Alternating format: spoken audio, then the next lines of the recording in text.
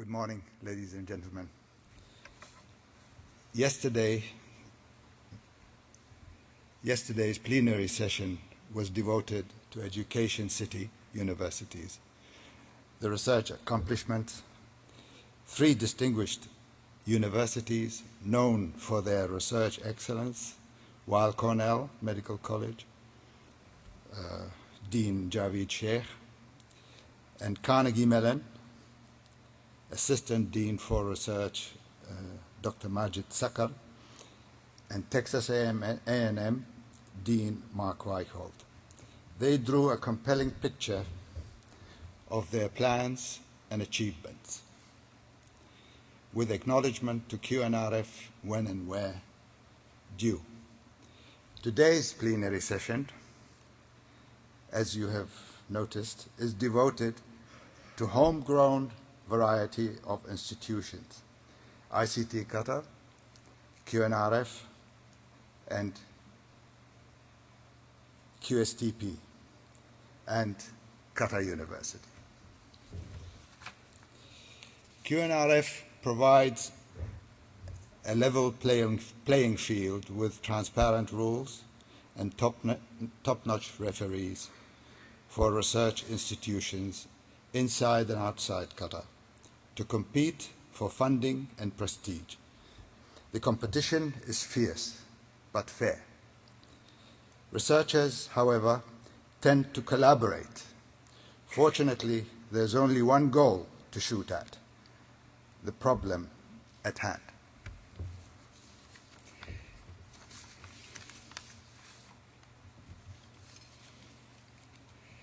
Before I talk about its programs and their measurable impact, I would like to say a few words about the research strategy that guided our work. Qatar National Research Strategy, QNRS, potential research areas to meet national needs.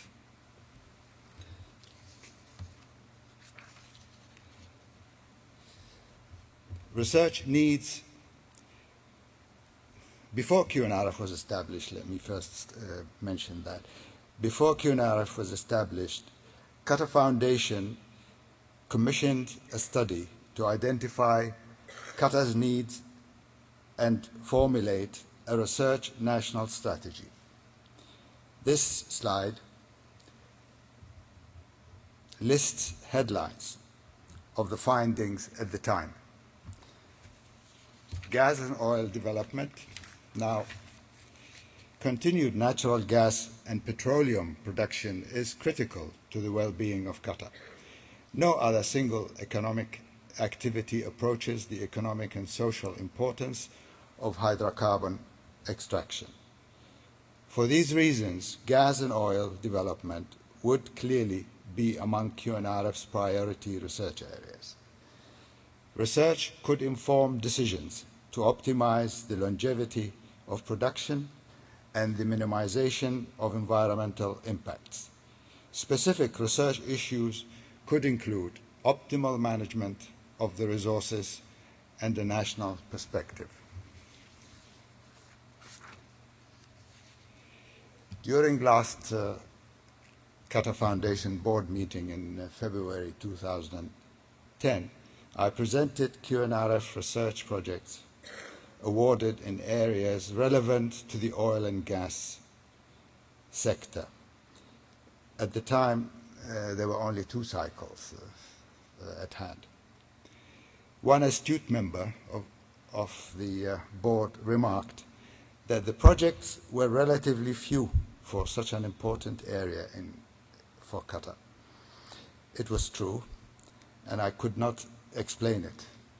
Now I venture to say that the basic data necessary for researchers to work on were not available. Such data is an important national asset.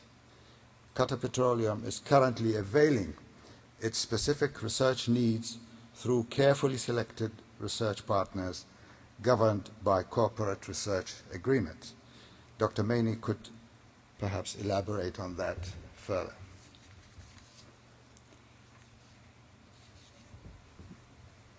Diversifying the economy is, is the second uh, area.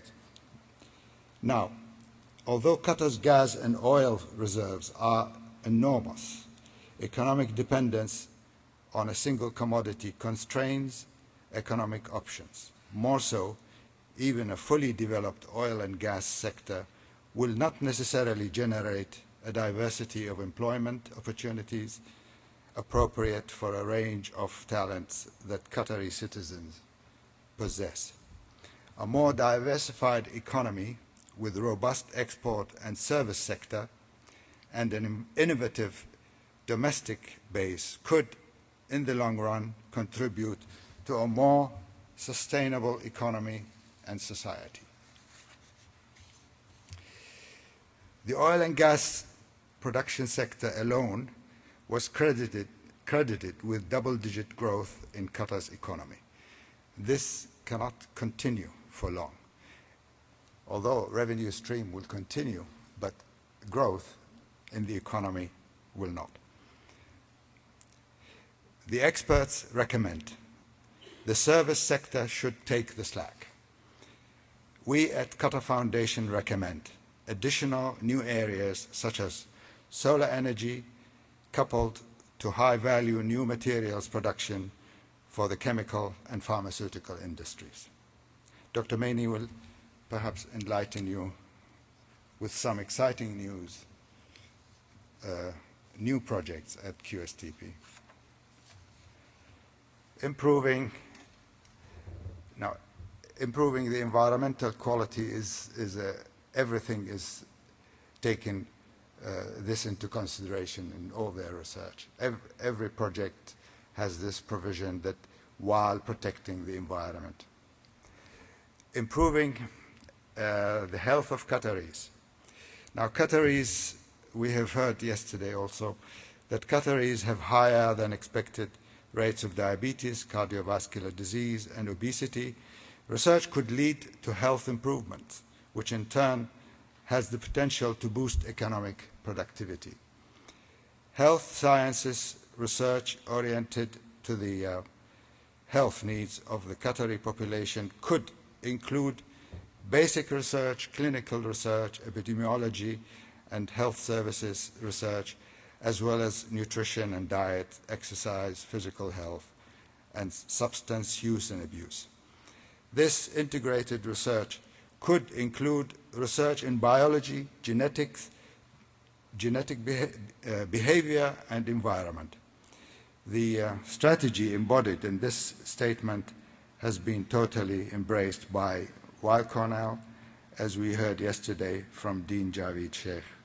More will be given by Dr. Maini. Improving water management.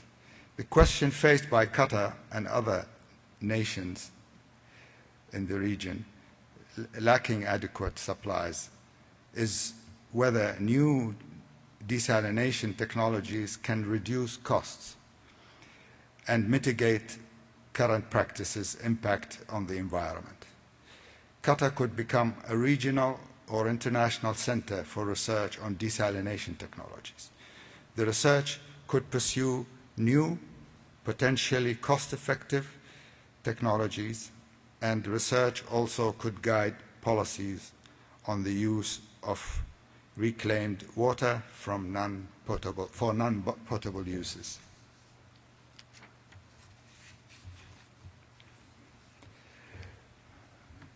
Now, uh, expanding participation of women in the workplace. QNRF and, and others didn't have to do much on this, in this score because everything was taken care of under the guidance of Her Highness and uh, ladies like Dr. Hessa and Dr. Sheikha al-Misnad and others have really done a great deal to, to expand the participation of women in the workplace. In fact, some of the figures I will give on research results will illustrate how far this has gone, maybe too far for some.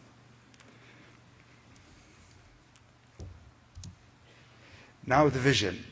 This is the guiding statement for our work and research. Qatar Foundation envisions research as a catalyst for expanding and diversifying the country's economy, enhancing education for its citizens and the training of its workforce, fostering improvements in the health, well-being, environment and security of its own people and those of the region.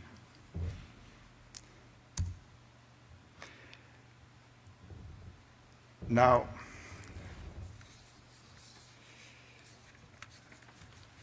this is uh, the outline of uh, the main uh, presentation. There's an over, I will, I will deal with each, each of these uh, as they appear. Uh, established in 2006, uh, it aims at build, build, to build nat national human potential by using research funding and other activities to accelerate development of opportunities for education and training of, in basic and applied research in Qatar. Fund research that focuses on related national needs, raise Qatar's international profile in research, and expand, expand non-QNRF non, funding. Now, this is um, the menu of the programs launching chronologically. Uh, the first one was Undergraduate Research Experience Program, launched in 2006. Now we are in the ninth cycle. It's been a smashing success. It really unlocked research in, in the country. It is uh, designed for Qatari students and faculty in Qatar. It's not open for outside. It is our maiden voyage, as, as I said, uh, and it was chosen because it was easier to execute. Uh, the scope is limited, the period is uh, short, six months, and any uh, deviation or something going wrong could be rectified easily. The next program is the National Priorities Research Program. That is the flagship of our uh, of QNRF. And then, then uh, I will deal with the national priorities a, a bit later. We'll just complete the menu. Biannual research survey. This is, and this is a survey done every two years. Then conferences and workshops and secondary school research experience program, also a program launched and uh, subscribed to now. And the Young Scientist is also launched in, in 2010 and subscribed to, and I will give facts and figures about it later. Uh, exceptional National Priorities Research Program also launched, and it's still work in progress. And the next program will be Distinguished Fellowship Program in 2011. We have commitment from the highest level, and we have what it takes, I think, to carry out the job. Now, this uh, maiden voyage, as I said, it's, uh, it's every six months. There are two cycles per year. The inaugural cycle was launched in November 2006, and now ninth cycle has been implemented since then. The, this is the, the National Priorities Program, Goals and Designs. It addresses key national, regional, and global needs through research, accepts individual or collaborative, small or large, proposals spanning between one and three years, uh, and encourages multi-year, multidisciplinary, multi-institutional projects, collaborative projects, partnering researchers and academia from different campuses, governmental or private institutions inside or outside Qatar. Partnership between institutions in, in Qatar and outside uh, projects one to three years duration with budget up to $350,000 per year. Exceptional proposals budget can be up to 5 million, which extends from three to five years duration. Program frequency one cycle per year, and inaugural cycle was launched in 2007. So far, four NPRP cycles are running concurrently. Now, it has a, there is a, a split of fund, uh, 65% or more in Qatar and 35% outside. The split of, of effort is 50-50 and submitting institutions are in Qatar, only in Qatar. And collaborative institutions are uh, in Qatar and outside, and they ge geographically cover practically the five or some say six continents. Now, uh, in the Arab region, Arab participation institutions, there were 271 institutions submitting submitted proposals in collaboration with Qatari institutions.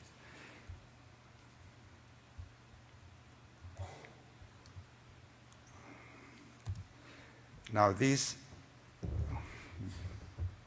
should have,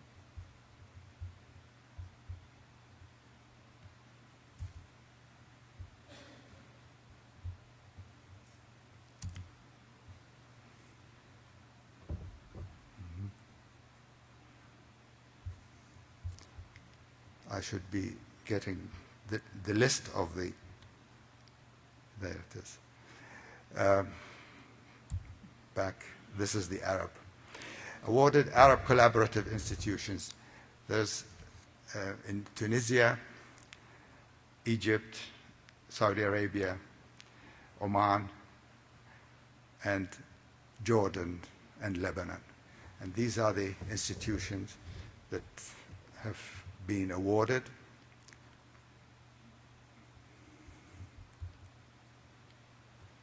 And this slide shows uh, awarded Canadian collaborative institutions.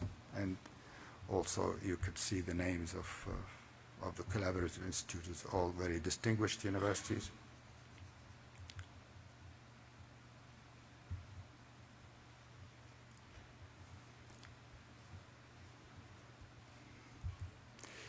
The American ones, 558, quite a large number, but only 63 of them were awarded.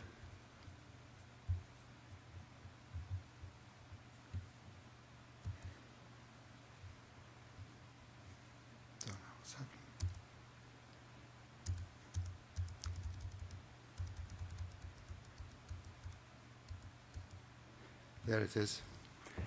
Uh, all the big names are there, as you can see.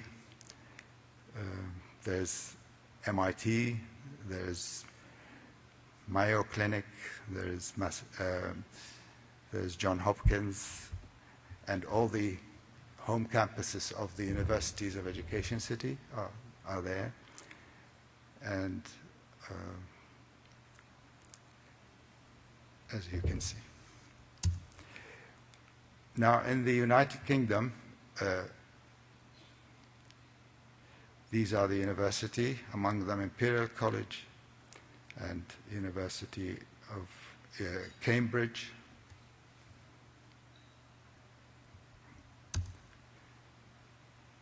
And European institutions are Helsinki, and then there are uh, French institutions and German universities and uh, research centers like Fraunhofer and Max Planck, and Italian and Norwegian and so on. Asian and Australian, uh, again it's about uh, 18 University of Australia and, and uh, Monash University, uh, Beijing University, Hong Kong University, and so on. Auckland. Now,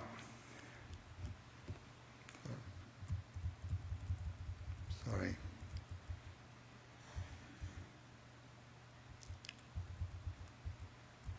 Facts and figures.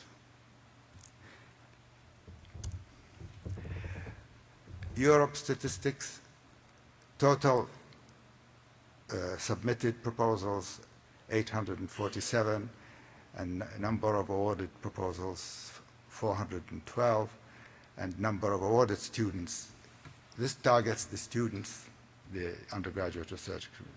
So there's a fair number every cycle. The total has surpassed 1,000 last year. And uh, Qatari students out of the total are 390. Uh, number of female students, 312. There is a disproportion. And 79 male Qatari students. The faculty are uh, 63. The M NPRP statistics for the fourth cycle, uh, the fourth is ongoing, so there are no statistics, but here are the statistics on the first and second and third cycles. Letters of intent, you see they are increasing, and submitted proposals are also increasing. Submitting institutes in increasing and collaborative institutes are rocketing.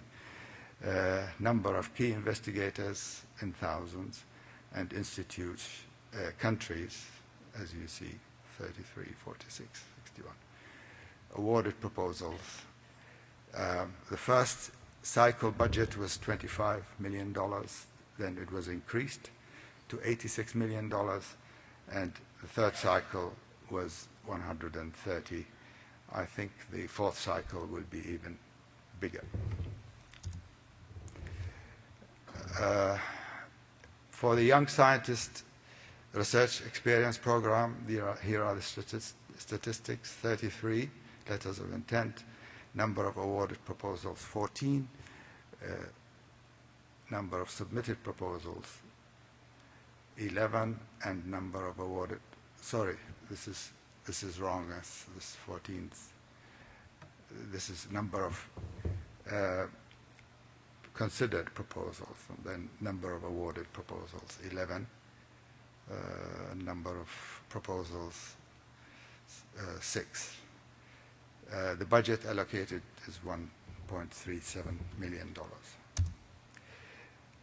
Uh, one unique feature in QNRF is to establish research offices in all the local institutions participating in the, uh, in the research endeavor. So far, there are 40, and the majority are private sector, and some, um, in addition to the universities, the, the, the, big names. There's also Hamad Hospital, and there's Shafallah and Science and Technology Park also is participating. And uh, these research offices are the, the, focal point between QNRF and the submitting institution. It, it looks after the vetting the, the proposals and it looks after the budget and spending the allocation spent on everything. This, is, this has been quite successful. Number of publications so far, I think from the figures uh, uh, mentioned yesterday by the universities, th this could be uh, not quite complete. 203 from, for the NPRP and 53 for UREP. They could be more.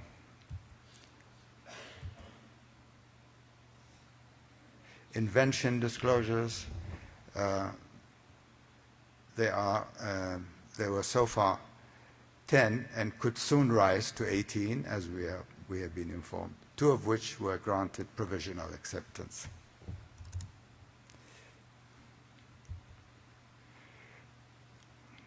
So uh, the website is a friendly, user-friendly website, quite uh, uh, up-to-date and interactive. And there's one testimony which I like personally. There it is. He is um, an assistant professor from University of Tampere in Finland. That's the equivalent to Manchester.